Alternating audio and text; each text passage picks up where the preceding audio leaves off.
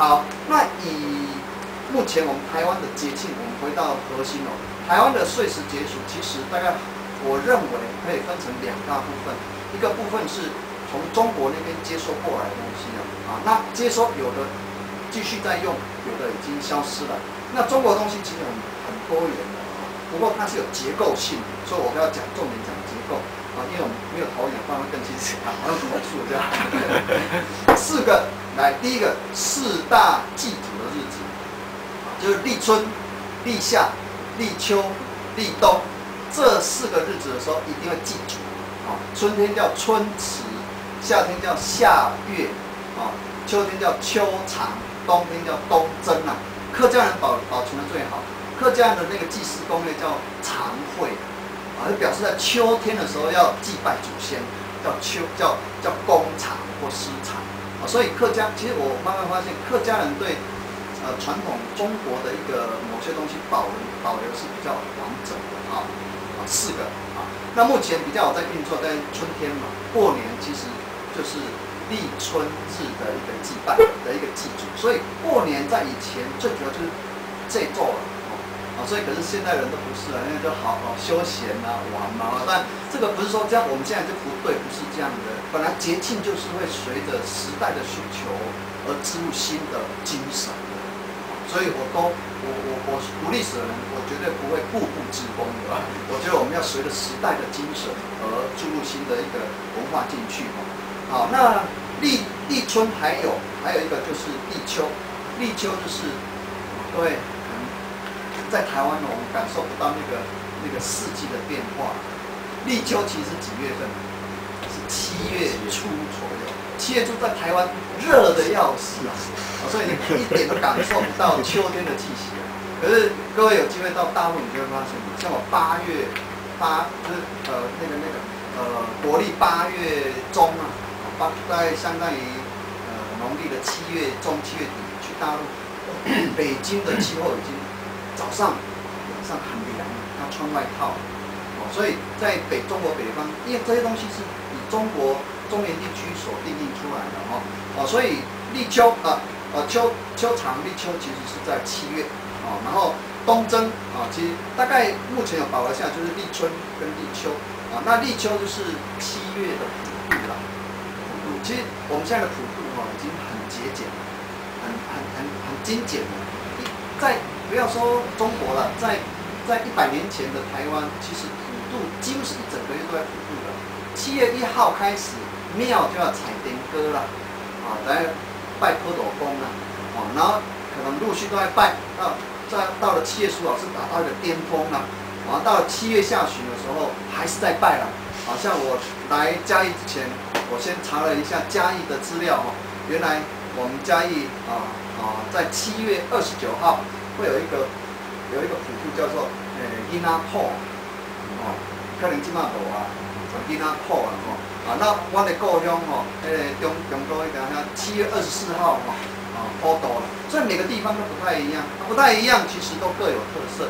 好，那这样的普渡为什么后来现在消失？我我认为是因为国民政府的关系因为国民政府提倡节约了，所以很多总民就说你要集中，你要节俭。包括我们的原住民，原住民什么丰年祭、什么祭典，其实他并没有固定日子的。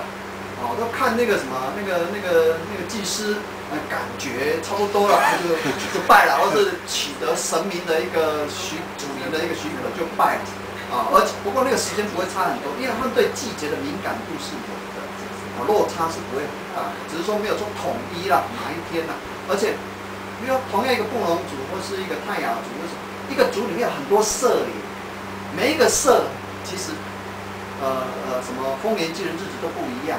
都不太一样，可是为什么现在都变得很单单调啊？都统一在某一天，因为为什么？还是我们伟大的国民政府啊，还有统一办什么丰年祭，所以啊，这告诉我们就说统一其实不好啦。一样啊，我刚一开始讲的，中国就是这样的。中国的庙为什么没有去？你去你会觉得我台湾叫处理了，因为它什么都要一样。这个庙这样拜，那个庙这样拜，那你也不能进去做什么，老百姓也没有办法跟跟跟那个庙里互动，所以无趣。那有趣就是说，就是我们台湾这样什么，你要你要自己玩一趟，你可以去玩。那我因为我到天津的时候，我那个学生带我去了，我我看了这些现象之后，我就跟我的学生说，啊，不然我我导师来你们大陆开一座庙好了。他当场说，我我就说了，开一座庙一定很赚，赚爆了，啊，因为他们我可以看感受出来，他们对信仰的一个渴望，而事实上当然是不可能的事情。好，我们带回来，所以秋长。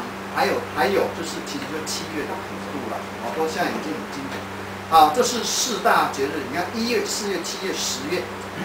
再来还有两个很重要的日子，我们现在还在做，一个叫春起，春天农农业时代哈，对土地的啊祈祷拜拜，土地神的拜拜，叫春起。春起就是二月，啊就是在秋分的时候啊。以前没有在讲几月几号的啦，以前都是。那个气节气到了，哎，春分啊，然后秋天就是秋分啊，这两个日子，后来就把它定为什么？定为二月二号跟八月十五号啊，这两个日子。所以一个叫春起，一个叫秋秋报，秋报这两个日子啊。那各位假如稍微去对照原住民的节气，其实很微妙，很接近。原住民也在二月、三月的时候开始做。一年开始的一个祈祷，大概八月的时候进行丰年祭。为什么这样子？很简单嘛，因为人对自然会有一种很自然的节奏的一个呼应。春天就是用来种田、用来祈祷的，秋天就已经进入收成，当然要达到一个天地自然。哦，所以其实纵然呃形式不太一样，可是我我觉得那个节节奏是很接近的。好，这是我们。很理很自然可以理解。那二月二号，今晚咱叫啥？叫偷鸡啦，哦，所以偷鸡足重要哦。恁今晚敢有咧拜偷鸡？偷鸡有咧拜偷鸡？哎呀，你袂使啊！到咧拜，到咧拜鬼鸡。鬼鸡，鬼鸡，有偷鬼鸡，其实就是吃福了哦。那个我们就先不谈。可以哦，哎，就是说，你说二月二号跟八月十号，对。二月二号我记得我们小时候拜过过年的时候，对。啊，现在我拜什么？叫你。无唔对啊，啊其实就是春起秋报嘛。啊，因为后来土地神把它拟人化，拟人化之后就变成叫土地公嘛。哦，所以我现在嘛当做奇怪，有像钱哦，生意特别多啊。因为这个是土地公的生意，呃，八月十五土地公的生意其实不是生日啦，而是啊春起秋报，而只是后来的人把它拟人化，特别是台湾，我我觉得台湾的信仰很活泼，呃，而且。台湾的信仰都会把很多抽象的东西具体化，而且结合一些民间故事，结合一些圣贤啊、一些名人，变成一套可以叙说的故事，啊，变成一个叙说的故事，就结合那个社会嘛，可以可以更深入一个社会的底层，啊，所以，嗯，其实。为你要我怎么回答？你说土地公为什么两个生日？其实我回答不出来，因为因为他是或许他是省事上，其实不是他有两个生日，是刚讲春起秋报。好，那好，这样年级，你看一月、二月、呃七月、八月、十月都已经有了，啊，很忙哦，每个月几乎都有。再来还有两个月份很重要，一个是三月，三月刚刚讲三月三号就是什么？就是哎。现在，呃，最早的讲的是刚刚讲火力嘛，啊，火力，哦，那其实三月刚好就是春天要进入夏天，春天其实还很凉爽，进入夏天代表生命力越来越旺盛，啊，非常蓬勃发展。所以这个阶段就是我刚刚讲的，其实原始的时代就是一个求子的时，求子的一个日子，男男女女会在一起啊交往，啊，然后希望能够孕育下一代出来。所以三月三号在古代是很重要的日子。那后来为什么变成玄天上帝的生日呢？目前我还还在研究当中。啊，其实我认为玄天上帝是北极七星的一个信仰。啊，那个信仰其实在古老时代是重要的。啊，其实北极星哦是中汉人哦传统里面的一个永恒之星呢，认为它是不会动的，所以代表某一种永恒的力量。或或或许是这样子。那当然。玄天上帝的故事一定是后来记录的，就是类似借鸡推那样的一个故事。那另外一个就是刚刚已经稍微讲，其实这两个都是跟回力啊阳火力有关。另外一个就是重阳节，所以是啊在土壤求寿。所以你看我们现在已经啊又多了两个日子。那目目前其实讲到这里，一月、二月、三月、四月、七月、八月、十月、九月都有，剩下哪一个月没有？哪两个月没有？啊，五月、六月，还有十一跟十二月。那五月我们最熟悉的就是端午节。其实端午节哈，其实这个节日不是汉人的节日啊，这个节日其实是什么？是那个吴越，吴越春秋，就是越王勾践，有没有？啊，是 吴越，其实搞不好是台湾原住民的个血缘系统的那个那个那个台湾原著名的黄酒系统的一个族群。我我们受到以前大中国文化的影响，都会很习惯的思考说，中国在很古老时代哦，就是一个大一统的国家哦。事实上不是。中国的，呃，在周朝之前，基本上真到周朝，基本上它还是分得很清楚，黄河流域、长江流域、淮河、长江，还有珠江，啊，它的族群文化其实是不一样的。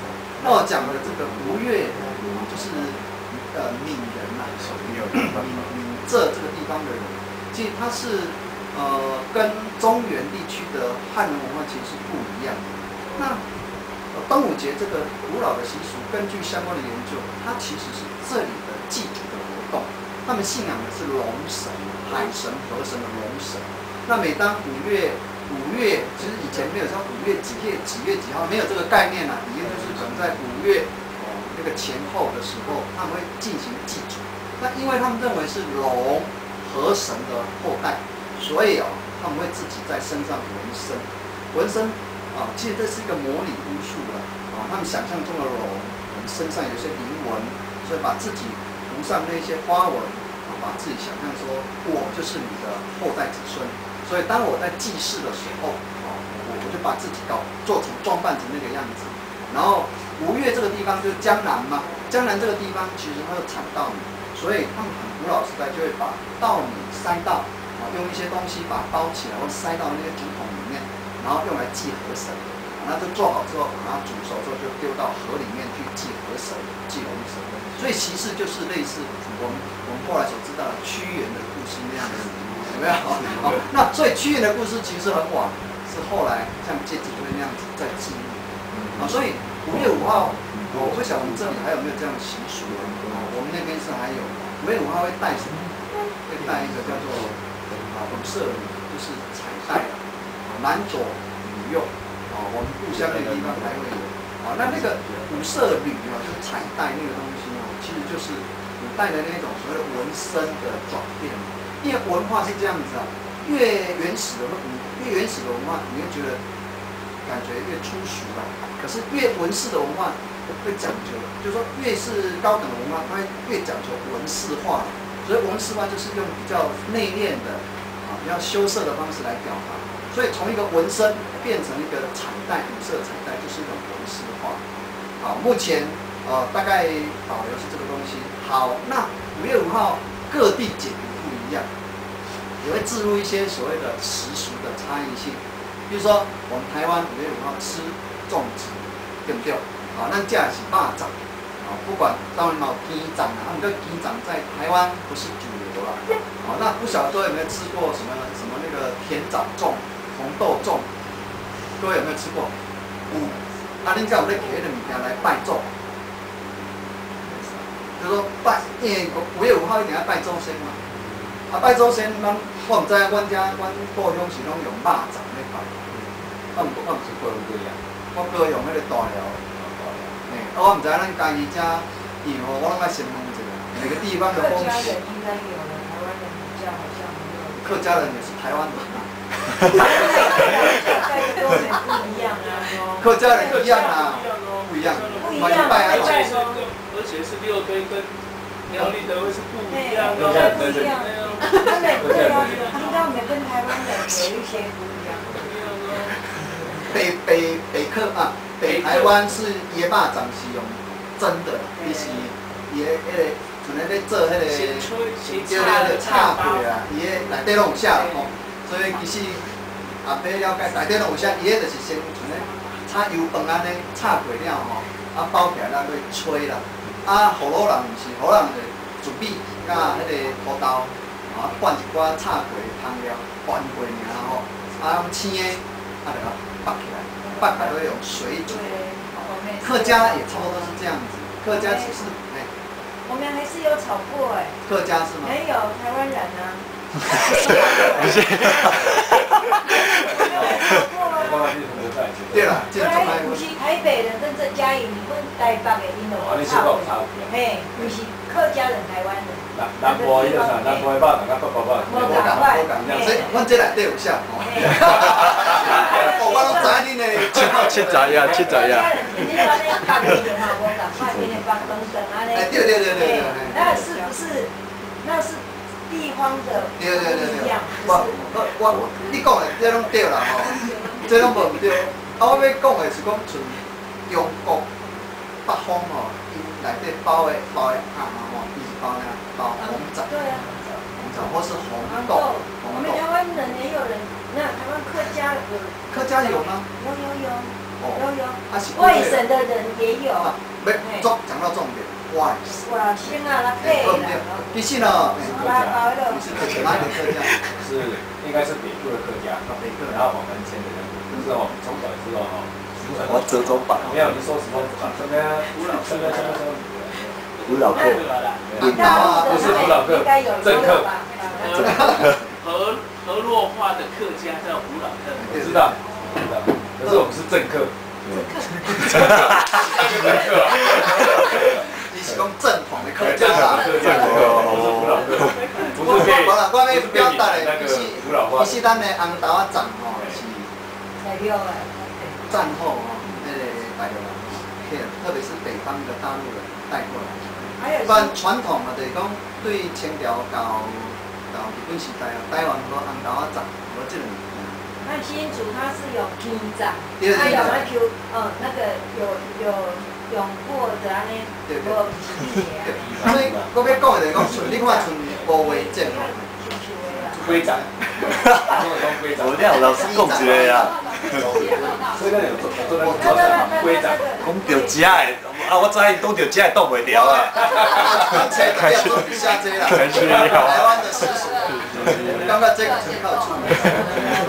这个值得探讨啦。值得探讨。其实讲出去，讲了这我都给讲者。我们嘉义拜拜哈，每每一个地方都不同时间拜，所以讲，我们家每个月。七月份没，庆国会加有多厚？怎么讲的？没有没有没有，全省都也有，只要有全省都是古聚落，主要是古聚落就是了。基本上是都有，只是会随着时间的变化，慢慢的淡掉。那再来加上现在所谓的新文化意识，他们会把一些旧点慢慢切除掉。所以我，所以我头讲的七月迄个对嘛，其实上早就是对七到。啊，不能考，啊，不会讲一定人咧拜啦，中嘛咧拜，啊，然后这中间吼几十年见就对啦。每一个所在伊的风俗无同，伊每一个所在传说无同。即即在按理论来讲，就是操作意义甲解释意义啦。操作用实际我当时咧拜，啊，解释就是讲，呃，我要安尼解释，我是一工拜的迄个理由啦。哦，因为每一个所在的新年，哦，甲伊地方的认，诶，迄个迄个迄个对传统历史的解说，其实。所以这是台湾处理的所在，嘛是讲讲做乱的所在啊吼。啊，所以咱啊，我我这本册哦，那你若有兴趣，一定要从我的序好好看一看。一开始我就讲哦，谈到民俗哦，大概做乱嘛吼。啊，乱到尾，你知影，按哥来讲，伊就是这个就是有趣的地方。那我尽量在这么多多姿多彩中，尽量把它统筹一个架构出来，让各位有这个架构，理解这个架构之后，各位就可以再去。要更深入体会丰富多元的一个文化，啊，台湾的西安，那这种现象在大陆是没有的，你看不到的，很多元啊，啊，我我们我们所以涵某个层面涵养出我们台湾人心中比较开阔。其实讲个题外话，我那个学生其实就大天津的那个学生，他们是上学期来我们学校做一个交流学生，应该讲几年啊，七各位女儿，你刚刚好是我不想回去。所以七月七月哦，《新周刊》大陆有一本一一本很重要的周刊叫《新周刊》，它出版的时候，它的标题叫《台湾最美的风景是》。我们咱各位应该网络上有些要读的哦。啊，我这边你来到就是我的学生很热情啊，一直啊老师你来啦，我带你去天津、北京走啊。其实因为我我有大陆旅行很丰富的经验，其实我不太想去啦，特别是我太太啊，她就是对大陆啊有些不好的印象 啊。那啊，我就跟我太太说啊，学生这么诚恳的邀请，要不我们就试看看啊。后来我就说服他了，我们就一起去啊。其实我那个学生真的很好，把我们安排的很好，那其实也很深入啊，他们的一个不是只有观光，因为我们是自助旅行，就学生带我们去比较深入去看他们的生活啊。所以比较之下，你看一个来短短来台湾四个月啊，一个知识分子但是来了四个月，他说他很喜欢台湾，他甚至不想回去，他甚至想在那边工作，是要嫁给他一直跟我讲老师。能不能帮我介绍一个男朋友，